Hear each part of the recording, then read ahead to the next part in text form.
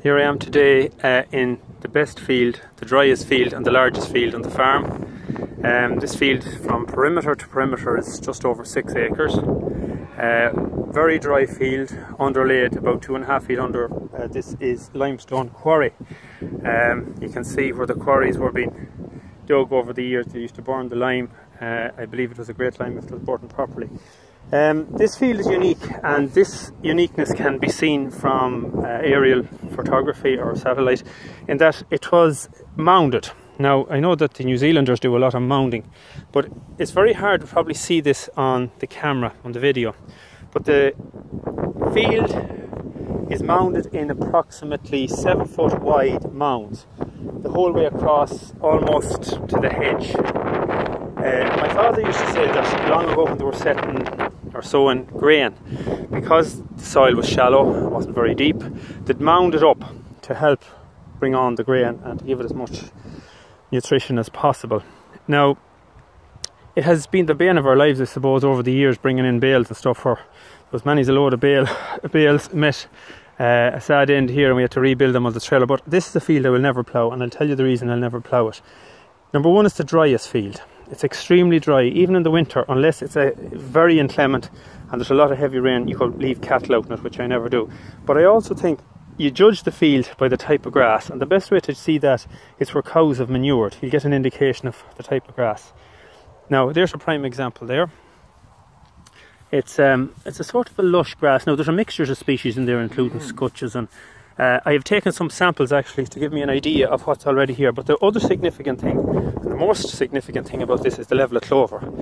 Um, clover is one of the most dominant species in this ground. Um, that's why the cattle, even if it's bare, the cattle will actually eat uh, here down to the clay, as they say. So you can see, like, it's very small clover. It's actually a small leaf clover. There's no large leaf clover in here, but um, there's a lot of it and um, that's one of the reasons that when I have clover in the sward, it's the starting point it should be. You can see here how tight the sward is actually with all that clover. It's a very tight. The only problem is the species of grass that are present. Now I've walked this field for an hour and I've taken a few samples of what is the predominant grasses here. I'm not 100% sure, but I do know that they're not high quality. This here, Yorkshire fog, not a great grass, to have in a field. A little bit of perennial ryegrass. The reason that probably came in is that there was bales brought in maybe, or the cattle were eating silage with a bit of perennial ryegrass in it, and when they manured on it, it came out on the land here. This here is a very good sodding grass. It's a bent grass. I think it's common bent, they call that.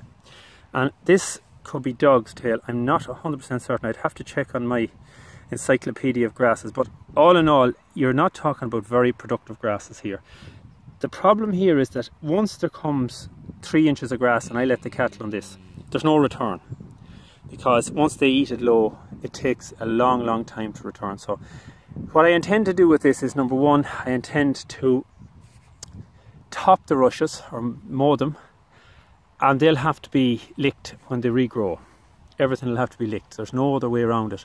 Um, I wouldn't spray anything. I prefer to lick.